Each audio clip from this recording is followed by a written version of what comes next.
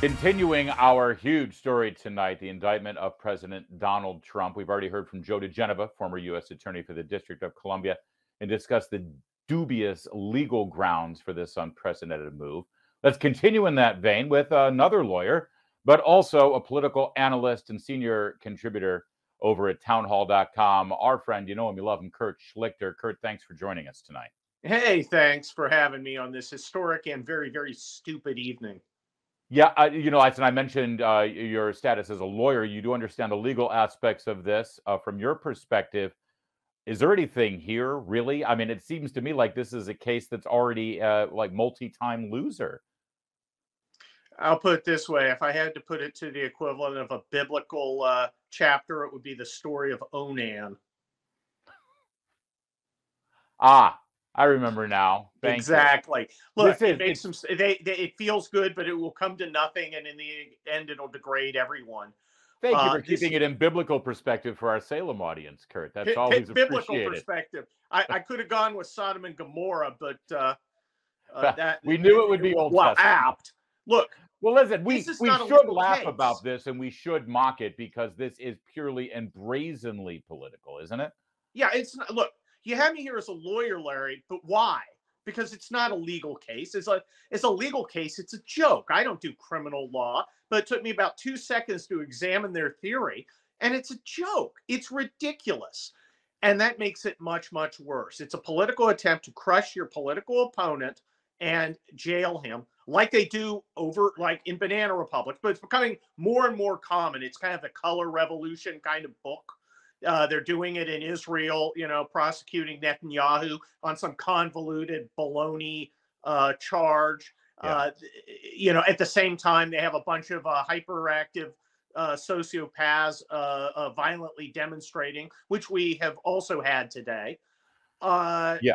this is bad, and it's you know it's dangerous because you know you create instability by undermining the foundations of the very institutions you're using, that's not going to end well. You know, it's interesting. After all the fallout from January 6th, and then you, you of course, uh, appropriately talk about the the storming and insurrection of state capitals uh, in America today over transgender policies. Uh, you talk about the left's reaction to your fictional books, a fictional account of a dystopian future. Uh, you talk about what they claimed Donald Trump was going to do when he became president of the United States you know, jailing his political enemies. They always point to things like that, Kurt, and they say, you see, the right wing in this country, they're begging for civil war. But then they actually do something like this. Yeah. Um, I'm not sure how this ends, but I'm not sure it's going to end in a uh, pretty way. It's, eh, you know, this is profoundly dangerous and profoundly stupid. Uh, I've also got a little more information on what may be going on through some of my contacts. Oh, it turns it turns out the uh, uh, this nonsense indictment may not be involving Stormy Daniels. It may be involving some other uh, woman who does naked things or did them years and years ago before the uh, uh, statute of limitations expired. And uh, uh, but but apparently under the same theory. So we may be seeing this one, and then Stormy Daniels, and whatever idiocy comes out of Georgia, and whatever idiocy comes out of the Department of Justice. But it, it's pretty clear that they don't think they can beat Donald Trump uh, yeah. normally. So they they they've got to arrest him. And you know, if that's the new rule, you know, they better watch themselves. And yeah. the Republicans better have the stones play by the new rules.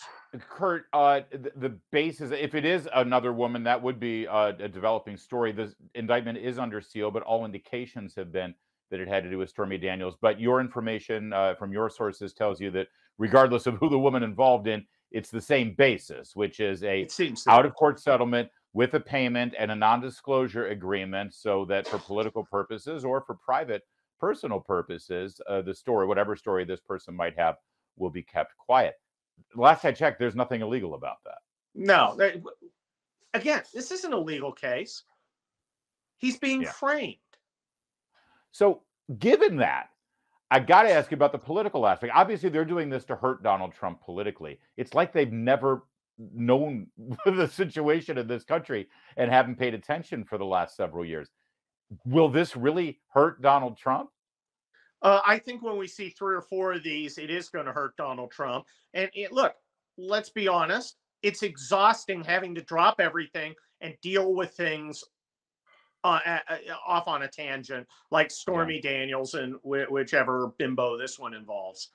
Um, I, I, I think after a while, I think right now people will rally to Trump. I think over time, uh, there's going to be some uh, Trump exhaustion as they do this again and again and again.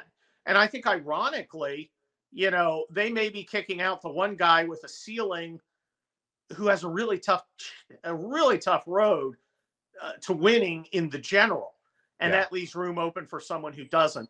And if it's somebody like Ron DeSantis, well, Ron DeSantis is a vengeful, a vindictive guy who knows how to use power. And they just handed him a whole bunch of new ones. Republicans who already have animus toward Donald Trump, people like Mitch McConnell, Mitt Romney, uh, certain governors uh, in this country who have a bad relationship with him. What should they say right now? I know their instinct is let your political opponent suffer when they're being wounded, don't jump into it. But they've got to understand the reality of the situation that they're next. They'll go after Mitt Romney, they'll go after Mitch McConnell in the exact same way, won't they? Of course they will. Uh, no, we have to stand up uh, against this banana republic move, and we need to uh, all do it, whether you love Donald Trump or hate Donald Trump. This is bigger than Donald Trump. Look, I've criticized the guy about a lot of things, but this is terrible, not only for Donald Trump, it's huge injustice, but for the country. And, you know, every time they yeah. change the rules, I got to emphasize it always comes back to bite them. Change the rules for the filibuster for the courts. Look who we got on the courts. If you guys want to play horsey, you may find yourself playing horsey and you ain't going to like it. Listen, I think you you like Jim Jordan. I like Jim Jordan, chairman of the Judiciary Committee. I think that he doesn't back down from a fight. I asked him that specifically earlier this week when I had him on the show. So, Congressman Jordan, what's wrong with Republican? You talk about weaponizing the federal government and the Justice Department. What's wrong with Republicans saying, okay, you're going to use these as weapons? Then when we're in power, we're going to use them as weapons. He said, no, we can't do that. That's not what America's all about. Okay, he, he misunderstands what's going on. This is not about inventing charges and bearing false witness and making stuff up. This is about foregoing the uh, uh, until now norm of great reluctance to prosecute political opponents. We would uh, roll, bend over backwards not to do it. And look what happened with guys like uh, uh, uh Hunter Hunter Biden, etc., yeah. yeah. who could have been prosecuted, should have been prosecuted under the Trump administration for the handgun stuff, but he wasn't. Yeah. Throw that deference out the window. Every little thing. Nobody's above the law, right? Yeah, uh, to that end, Kurt, uh, and we're about a minute left here, but uh, everyone's pointing out the fact, rightly, that this is a Soros-appointed prosecutor. You've had you have one in Los Angeles and George Gascon, Chesa Boudin up in San Francisco. We've quaintly just looked at the fact that they've ruined our cities by ignoring the law and not prosecuting crimes or not getting people behind bars. But was this also part of the Soros plan? Get somebody in place, maybe in Manhattan, and they can go after Trump at the federal level. It's it's truly banana republic. Uh, it, it, it truly is, and we're we're going to have to relook at our traditional uh, delegation of authority to prosecutors. It's almost unlimited.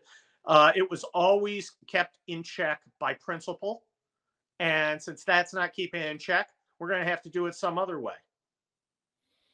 Let me just uh, just recap here real fast, Kurt Schlichter. Uh, we've had a reference to Onan, uh, Sodom and Gomorrah, bearing false witness. Are are you been you been talking to Dennis Prager a lot lately? Is there a conversion in place that I should know about?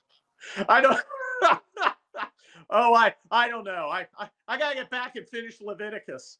Yeah, yeah. You're gonna join that roundtable with Jordan Peterson over there at the join Daily the round table. You're ours. You stay at yeah, town Kurt hall. Schlichter, the biblical scholar. That's Schlichter, him. senior columnist over there at uh, themightytownhall.com. Thanks for joining us on a very, very busy night. But we need your voice right now, and we'll look for your column. I'm sure it's going to be blistering on this issue. There's more to come. Keep it here on a busy night. It's O'Connor tonight on Salem News Channel.